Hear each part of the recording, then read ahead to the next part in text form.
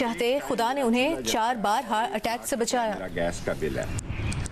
एक लाख रुपया मेरा गैस का बिल है। एक लाख और अड़सठ हज़ार रुपया मेरा बिजली का बिल है। मुल्क डूब रहा है। इकतसादी, माशी और सियासी तौर पर एक ऐसी तबाही है जिसको समझने की ज़रूरत है। गाड़ी हाथ से छूट रही है। अवामी मुस्लिम लीग के सरबराह शेख रशीद भी बिजली के बिल से परेशान। कहा, एक वक्त चूल्हा जलता है, गैस का बिल एक लाख रुपए, बिजली का बिल एक लाख अड़सठ हज़ार रुपए का आ गया। हुकूमत पर तनकीद, कहा, गरीब का चूल्हा बंद होने का उसे एहसास ही नहीं।